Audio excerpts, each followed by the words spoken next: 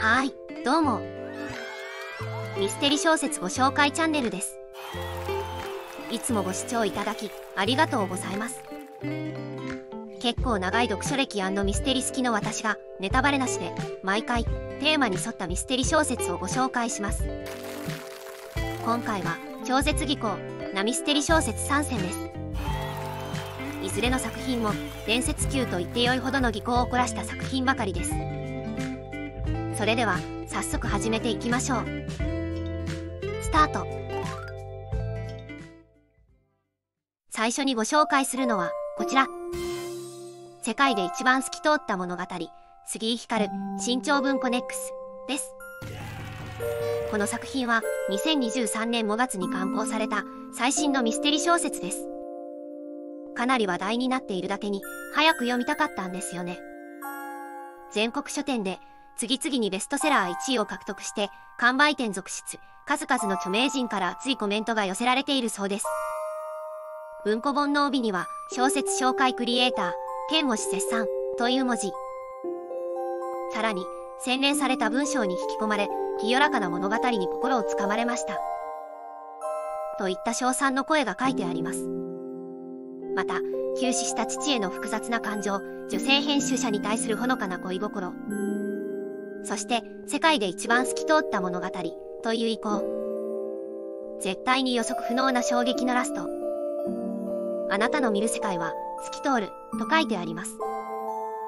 事実、文庫本の帯も透き通っております。私の別の動画、日常の謎ミステリ参戦でご紹介した北村薫先生もこのようなコメントを出しているようです。の謎が解けた時、完結する透き通った物語。ここに、純粋な仕掛けの愛がある。また、全国の書店員さんからも、紙の本が持つ可能性。本への愛情を感じた。本の素晴らしさを改めて教えてくれた一冊。などの感想が寄せられ、かつてないヒット現象となっているそうです。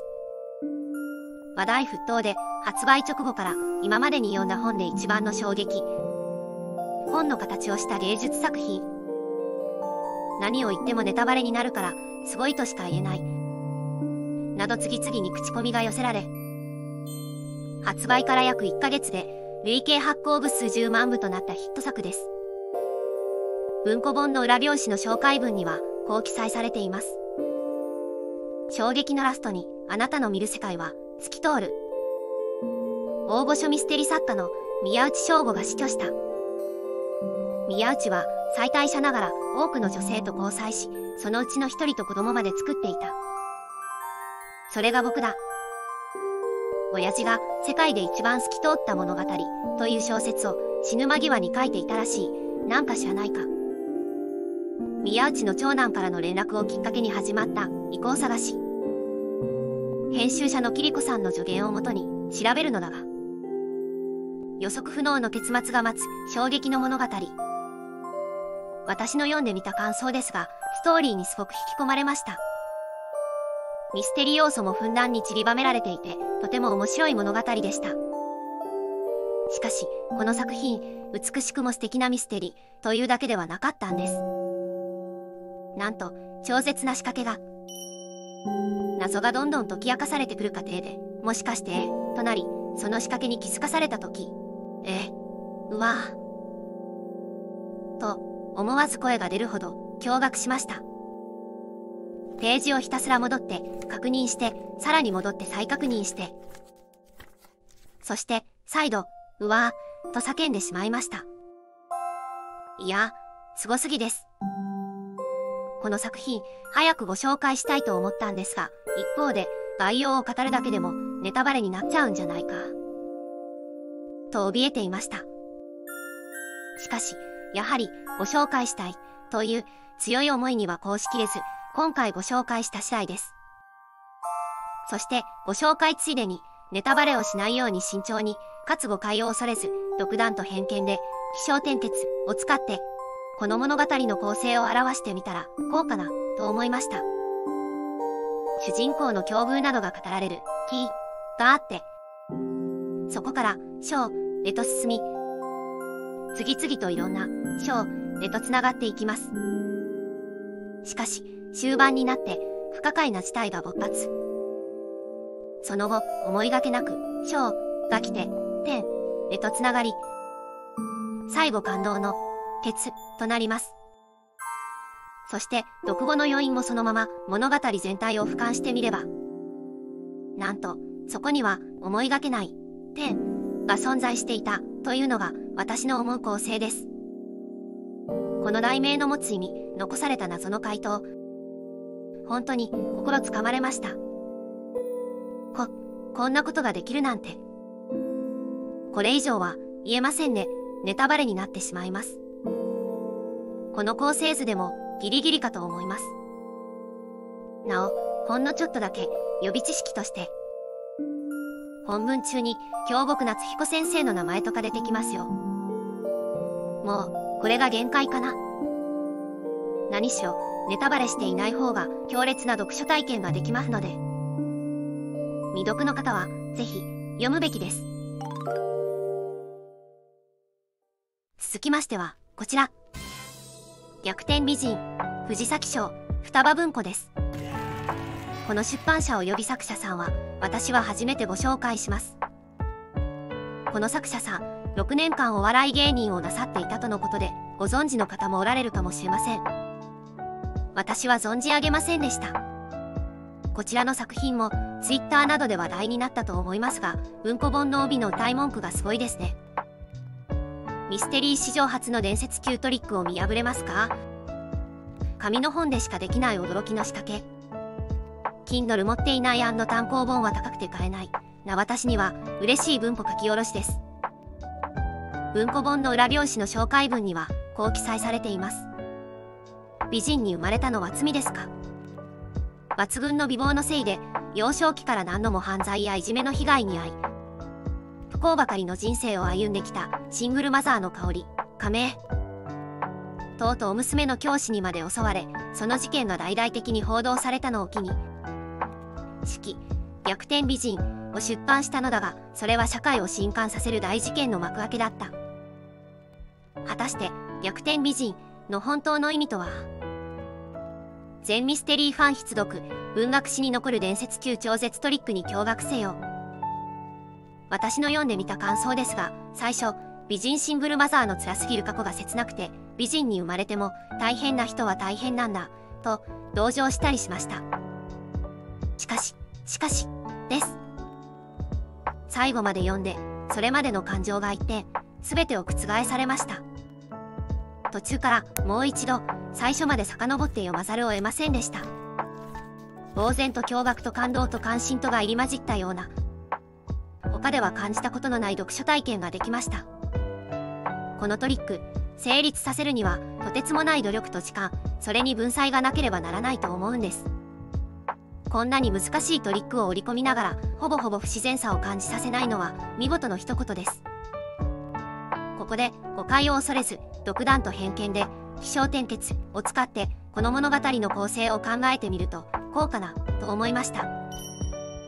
式の初めに「キ」があってそれまでの不幸な体験が「章」で綴られシングルマザーとなった現在で「鉄」を迎え式は終わります。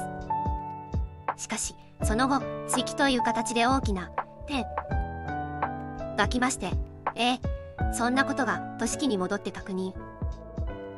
技巧がもたらした結果に驚愕しつつ納得感のある章が来て改めて追記を見て点の内容を確認し本当のケツへと誘われます。こんな感じです。なおこの作品が文庫書き下ろしなのも嬉しかったポイントです。話題の作品は大抵ハードカバーなので貧乏な私には購入が難しかったのです。でもこちらは文庫本当に助かりました。未読の方ぜひ読んでみてください。続きましてはこちら。類行迷宮竹本健二講談社です。こちら中古本でお安くなっていたのでハードカバーだけど購入した作品です。こちらの作品はミステリーが読みたい2017年版国内編内にこのミステリーがすごい。2017年版国内編第1位週刊文春ミステリーベスト10国内部門第3位。2017本格ミステリーベスト10国内ランキング第4位。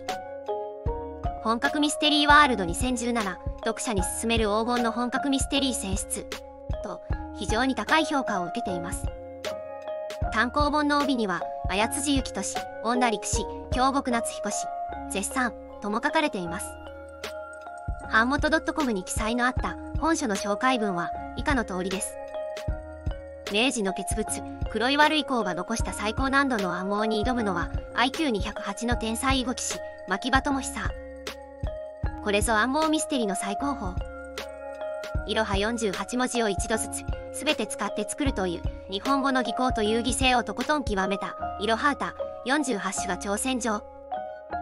そこに仕掛けられた空前絶後の大暗号を解読するとき天才しか成し得ない日本語の奇跡が現れる。日本語の豊かさと深さを改めて知る言葉のミステリーです。私の読んでみた感想ですがこの物語日本語による暗号ミステリーの一つの到達点ではないかと思いました。物語の中には囲碁やレンジのことが出てきますが私囲碁やレンジは全く未着手分野なので内容を理解するのに一苦労しました。あまりに多く品質する暗号や古典に途中で何度も迷子にもなって読量語も半分くらいははてな？のままですね。実際。でもこの物語がものすごい情熱とものすごい技巧によって生み出されていることは分かりました。暗号の解読や様々なうんちくなどが品質しこれは再読しないと完全には楽しみきれない内容と思いました。暗号の数や内容の凄さにはもう呆れ返るほどです。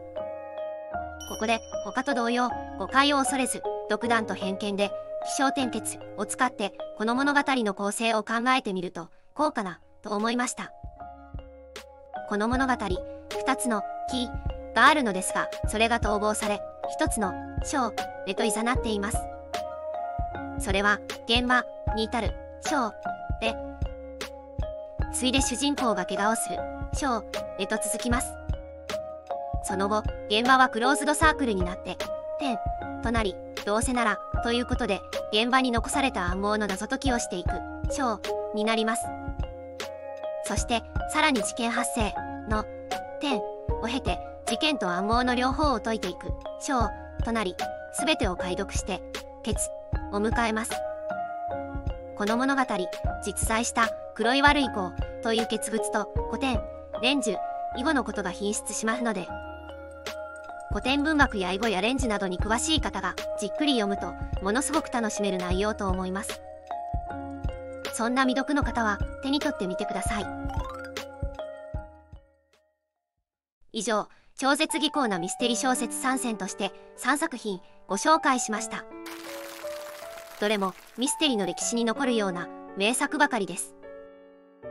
1番目と2番目にご紹介した作品はおそらく電子化はしないでしょうから未読の方は是非紙の本をお手に取って読んでみてください。ここまでご視聴いただきましてありがとうございます。これからもどんどんいろんなミステリ小説をご紹介していきますので高評価チャンネル登録何卒よろしくお願いいたします。皆様ごきげんよう。またお会いしましょう。